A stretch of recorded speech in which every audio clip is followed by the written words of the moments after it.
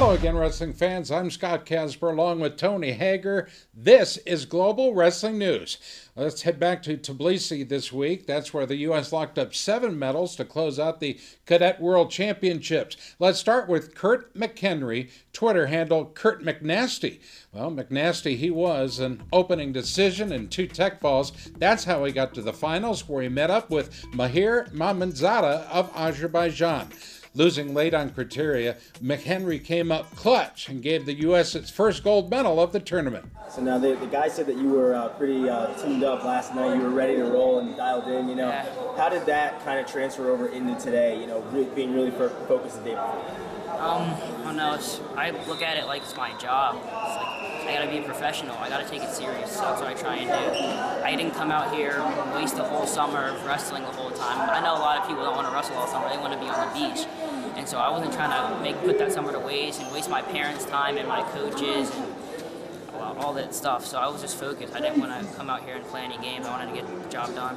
I mean, I'm going to be honest, Tony. I did not see McHenry winning a world title. Am I the only kid on the block that was sleeping on this guy? Yeah, I mean, not a not a, a name a lot of people are familiar with. Uh, this is a rising star at the cadet level, and we're working on trying to build these cadets up. Winning a gold medal puts you at the top. That is a name that everyone's gonna remember, and that's a Twitter handle that I'm gonna remember. Kurt McNasty. McNasty. Yeah, I like love that. So, uh, you know, what was really good about seeing this cadet was he didn't get flustered when people got in on his legs. He has a really good defense. So, um, sometimes at this level, you can be over aggressive and not be aware of your defense. But he did a really good job in uh, Georgia with being able to fend off attacks. All right, from McNasty, we go to Arujau. It was his first international appearance. Vito Arujau outscored his first three opponents by some 23 points and then moved on into the finals to face Amir Hussein Musadi of Iran.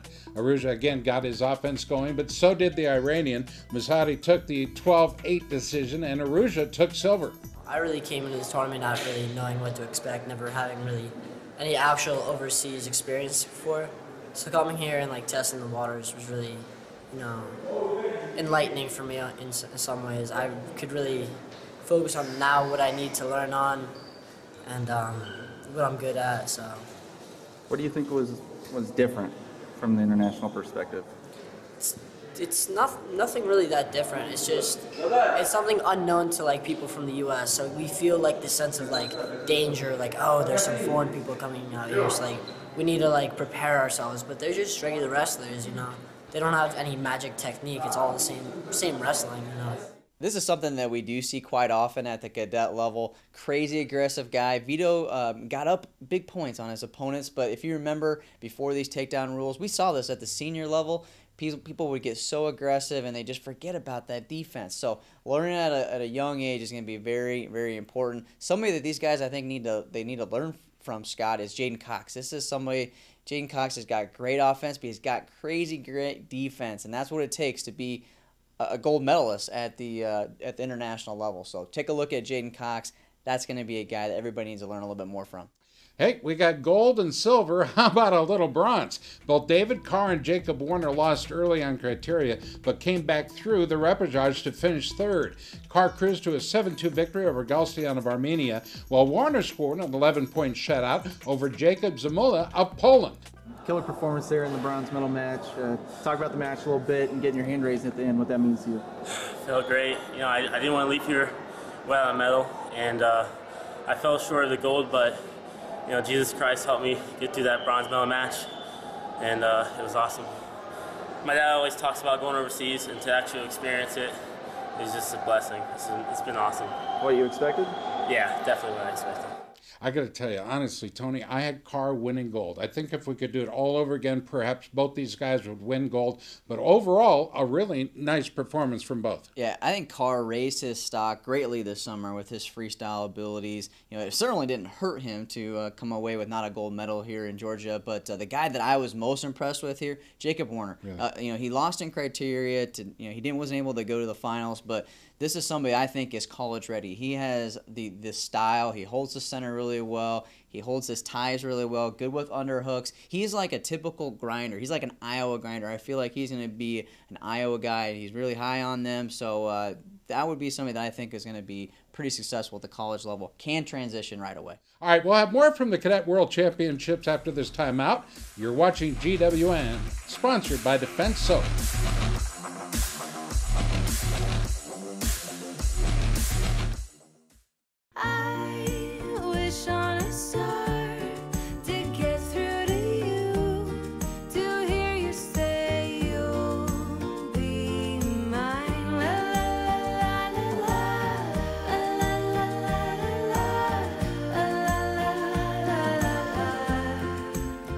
Right now, get any large original or flatbread supreme pizza for only $13.99. Casey's, famous for pizza. At Cookies, sauces and seasonings are business, but food is our passion. Our secret ingredient is Cookies Flavor Enhancer and All Purpose Seasoning. It makes pretty much everything taste better. You can use it on meats and in marinades, veggies and seafood. Try it on pasta and even popcorn. Pick up a bottle at your local grocer and enhance the flavor of your favorite foods. For more ideas and recipes, visit cookiesbbq.com.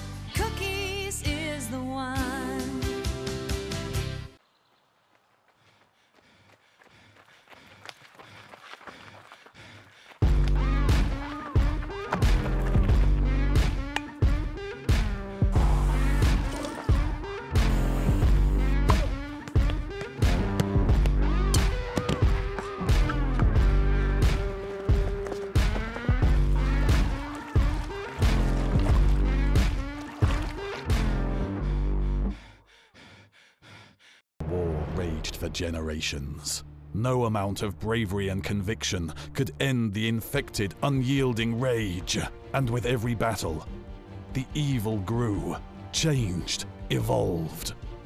The warriors needed nothing short of a miracle to stop the infection, and a miracle they received. Your body is at war against skin infections and diseases each time you step onto the mat. Protect yourself against the invasion. Defense Soap. Defend what you have built.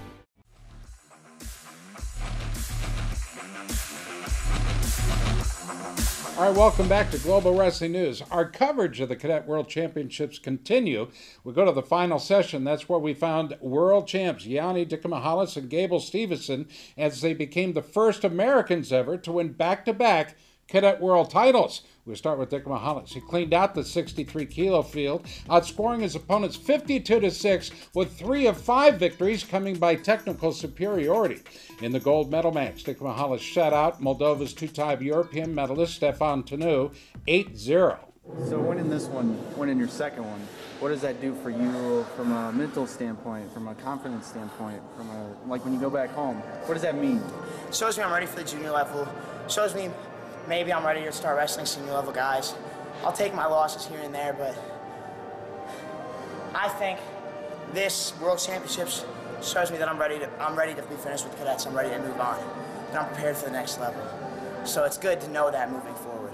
I think it may be too early to compare this kid to Kyle Snyder, but a guy can hope and a guy can dream, right? Uh, what I what I take away from listening to, to Yianni, watching him wrestle, his confidence is all time high. I mean, he he looks like he's already ready to step on a college match. He, he's committed to go to Cornell, so he's going to get thrown to the wolves right away as a true freshman. I, I feel like he's ready. Um, you know, as far as uh, comparing him to Snyder, pretty hard to say. You know, he's not. He's he's a young kid. Uh, I would say uh, compare him from a senior level to maybe a cadet level. You know, he's winning world titles, so he obviously put him in the same discussion. But uh, you know, Yianni has been winning these titles against cadet level kids. Right high school kids. So it's a huge, huge difference. So um, depending on uh, you know if, if Yianni can keep that offense, keep that um, aggressiveness where he's he's not giving up points at the junior, at the senior level. We can we can put him in the talk with Kyle Snyder. You say we're going to throw him to the wolves. I feel sorry for the wolves. All right, Gable Stevenson got off to a fast start, scoring back-to-back shutouts over Ashat Rushnayan of Armenia and Sumit Kurban of Turkey. A 5-1 victory over India put him back into the finals. That's where he gave up an early push-out, but he answered the phone. He answered the call with a takedown, a step up, and a turn, defeating Russia's Adam Bertabiev. Gable, man. Uh talk to you in Akron. All you said was Cadet World Champ. You pulled it off today. How's it feel? Um, I've been working every day, all summer for this, no breaks, and told y'all back in June I was gonna win it, and I still I stuck with my word, and just I won it like five minutes ago, and it feels good. So how's how's the second one feel? Does it feel as good as the first, or you feel better? I feel better, man. No one else has done this. It's just me and Yianni. This is it. Tony, did he actually smile? Yeah, I mean this was a, a grind match. He won up one five to one, and uh, usually when we see him win matches, he's just never happy. But uh, we did see him crack a little smile. This was uh, great to see him go back to back. Mentioned early, him and Yianni, a group here, two guys that have never been able to do this. And what makes him so successful right now is, you know, he just is a is a bigger bigger man than some of these cadet guys. So I want to see that transition into the junior level. Confidence is there, but uh, he, he, definitely has some work to do to get to that point. It's going to be interesting to see where he ends up going to school as well. Minnesota was probably the favorite, but I highly doubt that's still the case. Well, you would think that with all the, the issues up in Minnesota, you know, that it might be a, probably an issue, but his brother's up there. His brother's up there, so that's going to have a heavy influence. That's where he's from. But Ro- Roman Bravo Young is kind of like his sidekick. They've right. said that they're going to go to the same school together. So I know he's looking out west. So it'll be interesting to see uh, where these two land. Yianni might be in there too. Those two, uh, you know, if he maybe decommits from Cornell, don't see it happening. But those two have a, a pretty special bond. Well, Travis Wittlake was pinned in the second round, but he rebounded with three victories in the repechage and took home the bronze at 76 kilos. Facing Japan's Shotaro Yamada, Wittlake ran out to an early four point lead. Yamada would eventually tie the score, but gave up a point on a failed challenge, giving Wittlake the 5 4 victory. You know, I did a little bit of both sides, but it was a, it was a good tournament. Um, you know, coming, coming in this, I was, I was prepared to win a world title. I was really excited. Um, I believed I could do it, you know, and I still believe that I should be a world champ right now. Um, I mean, I had one one little mistake. You know, I picked up that single, and I had him on the out of bounds line, and, and he had that kid in, hitting that flip on me, and he caught me on my back and pinned me. But uh, you know, it was it was an eye opener. It was it was a, a good lesson. So, um, you know, and to come back from something like that is is you know is a great reward. I mean, here's another guy that's right on the edge of it all, Tony.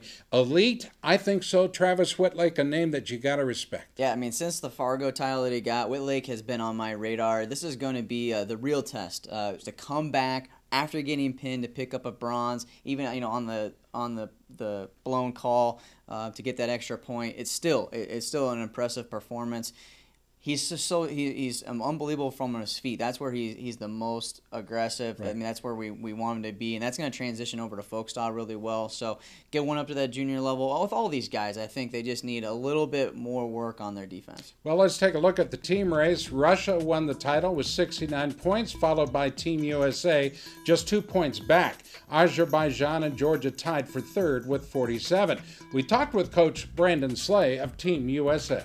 All right, Coach Slay, we had two gold, one bronze on the day. We finished in second in the team race. Talk about the team, talk about the guys. I mean, great performance.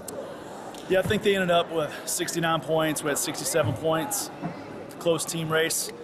We didn't score as many points today as we really wanted to and needed to to win the team title. Um, but the last time I checked, there's you know there's only one planet that has people living on it, and this group got second on that planet as a group of young men, 15 to 17 year olds, and I'm really, really proud of their overall effort as a team. You know, another thing that, that I'm really proud of is that you know, Russia, um, they had two champions, we had three champions. So, yeah, they beat us overall as a team, um, but we had more gold medals, you know, than they did. And so that's something that, you know, as Team USA, as we leave here, we can be, um, you know, we can be proud of and excited about. More GWN after this short timeout. Stay tuned.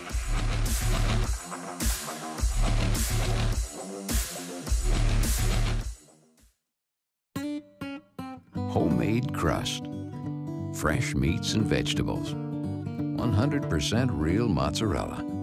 There ain't nothing like the smell of a homemade pizza when it comes out of the oven. Of course, those pine tree air fresheners smell pretty darn good too. Casey's, famous for pizza. Introducing your favorite dip on a pizza. Pick up the all new spinach artichoke chicken pizza today. Yellow Blue wants to show you global energy demands are expanding at an alarming rate. Power grids in the U.S. are aging while coal plants continue to close at record rates. Utility rates are at an all time high and there's no end in sight.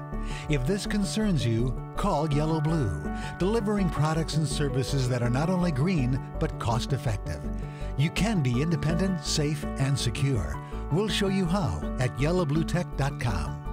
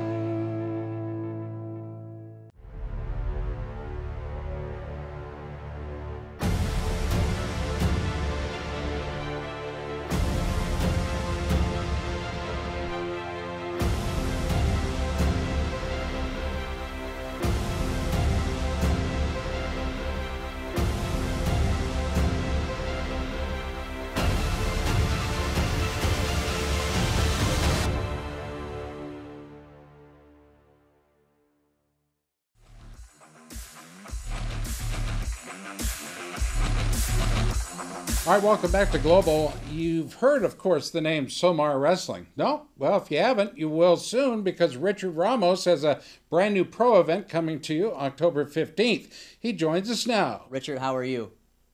Doing great, great. How are you? Doing great. Uh, tell us a little bit more about uh, Somar Wrestling. Uh, Somar Wrestling um, really started out as something that I was using to try to grow opportunities for girls wrestling, actually out here in California, which seems kind of odd because we're the most participated uh, state in the in the union. But um, yeah, I started it basically because I was a single dad with custody of my daughter. Uh, even though she had beaten some Fargo All Americans, some Fargo National Champs, uh, we didn't have the money to uh, to do some of the things and get some of the exposure that uh, I felt like she could have helped her in the long run. So just thinking about what I could do to try to help other people maybe who are financially strapped to get some opportunities, I started to put together things like a camp with the only female uh, head coach in all of college wrestling, Takara Montgomery. And then that led into college combines that we now see them doing with the boys. And then uh, into dual tournaments, takedown tournaments with the girls. And now, to be honest, I'm gonna I'm trying to use the exposure of the elite male athlete to build some exposure for the female athlete. Uh, you know, I mean, we have some of the athletes that we have in, in the lineup are female, and they, and they are the best females, some of the best females we can get. We're trying to get some good, uh, cheap training for some from for some kids that really deserved it. So the the the pro match that you're featuring at this event, Reece Humphrey, BJ Futrell, then Jason Ness versus Jordan Oliver, and then Haley Augello versus Victoria Anthony. What are the uh, exact uh, rules for this event? Okay, uh, the rules for the event, uh, we, we structured it, kind of followed uh, Brazilian Jiu Jitsu, you know, the Eddie Bravo rules, and uh, just thought about, you know, what, what could we do to try to make wrestling a little bit more fan friendly for the casual fan? And it was to try to bring out as much action as we could. So we developed these rules. We think that they're going to work really good in terms of trying to bring out the action. So it's two one and a half minute periods with a 30 second break in between and the first to five takedowns. So if you score five takedowns, the match is over. Whether it's the first period or the second period, as long as it's before the, three minute regulation period, you'll uh, you'll you can win the match. If it gets to three minutes, of course, we'll go by the score. If it's three takedowns as opposed to two takedowns, well, that person with the three takedowns wins. But if it's tied, we're going into uh, unlimited time sudden victory.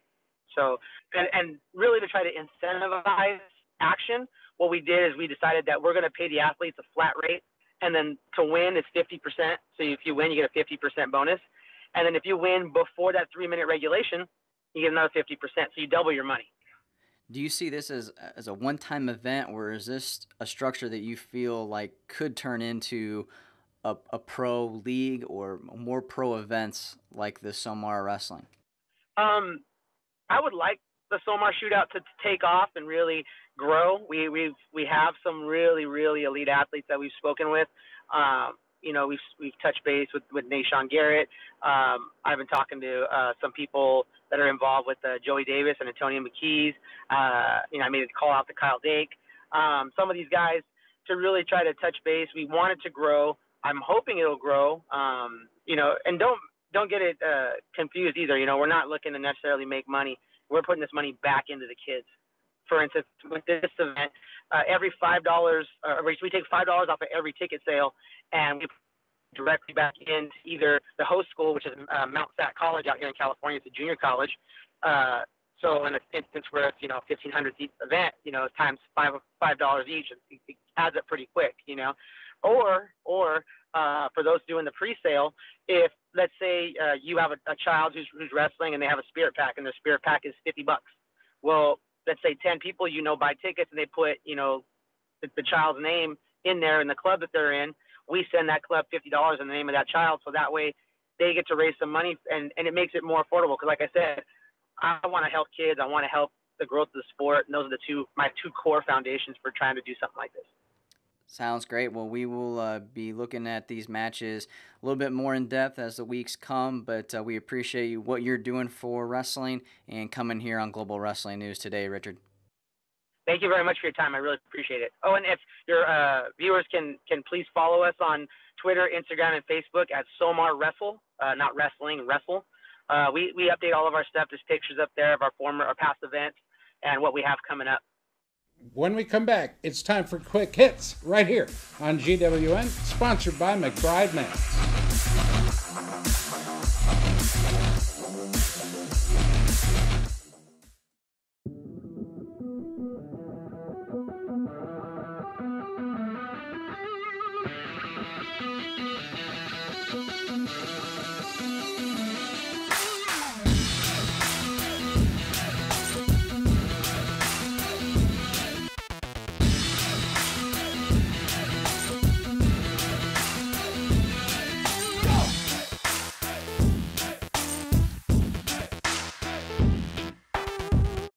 Yellow Blue wants to show you three great ways to make your home more comfortable. Install a hybrid solar home system utilizing solar power in the day, battery power at night.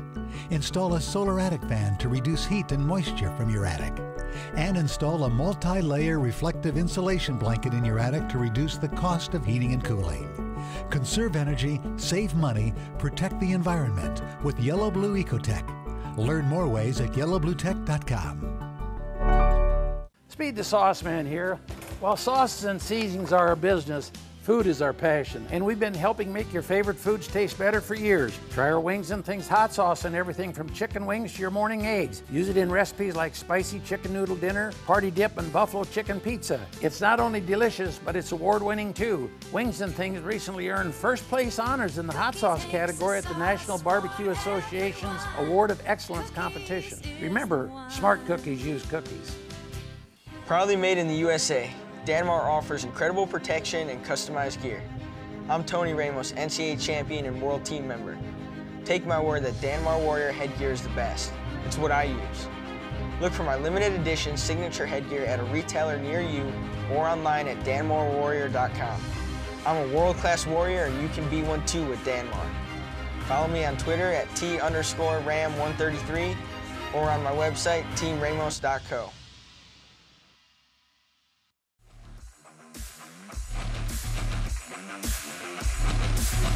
All right, welcome back. It's time for quick hits. Big recruiting news now. Two time Ohio State champ Mitch Moore from St. Paris Graham. You've heard of them, Tony. He's verbally committed to Virginia Tech. He's the number 12 overall recruit in the class of 2018. I know his brother Brent is on the roster, so probably kind of expected this, right? Yeah, Moore's a top talent, no doubt, and I don't I don't think that he was uh, you know never an option for other schools. You know, he, he gave look to others, but VTech, this is somebody that they were heavy on. When you recruit a brother, you're hoping to get the other brother package deal. 132, 138. I'm not sure where he's going to end up the year.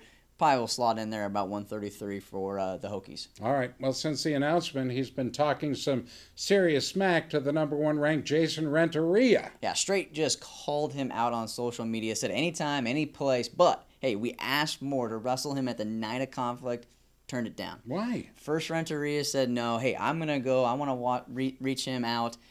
at the Ironman, making sure that happens. Well, Renteria now, after all the smack talk, Moore says he wants to bring bring it on before that. Who's number one? Night of conflict. Reach them both out. Nothing happened. No match. Hopefully, we're going to see it at Iron Man though. But this I- Twitter beef, I think, is good for wrestling. I love Twitter beefs. I really do.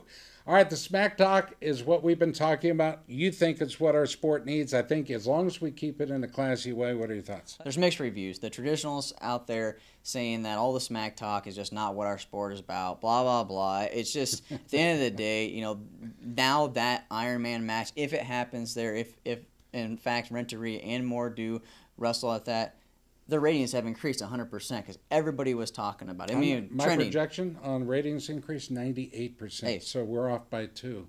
All right, next topic. Did you see this? Russian wrestling coach hits UWW official during Junior World Finals. I mean, this is insane. The Mongolian protest was one thing, and the UWW comes down on them. This coach slaps and pushes the UWW official. Tell me something has got to come down on top of Russia after this. I mean, wh- what can we expect uh, from the UWW? Everything that ha- has happened here, the UW- UWW came down on Mongolia, gave them a three-year ban just for the coaches. But Russia seems to always get out of this stuff. They had the doping charges. We know that something was going on. They still were able to wrestle in the Olympics. So with the Mongolian coaches getting this three year ban, something has to happen to this coach, to Russia, right away. Otherwise, there's going to be uh, lots of uh, protest. I mean, can you imagine Wayne Boyd going up and slapping a UWW official? I mean, it wouldn't surprise me. And he is Holloway Wayne Boyd, and it's something out of like a WWF type match you'd see. But I mean, if if, if Wayne Boyd or any U.S. coach did this, there'd be outrage throughout the whole wrestling community. Russia does it. You in United States is really upset, but no one else seems to be upset about this. We got to come down on Russia. This is what are we teaching our youth? Because if the coaches get away with it, the kids are going to get away with it, and then just the corruption and the the nasty wrestling is going to continue. All right, we'll get Wayne Boyd on in future shows to get his opinion on this and more. That's what's trending around the sport of wrestling. For Tony Hager, I'm Scott Casper. See you next week right here on Global Wrestling News.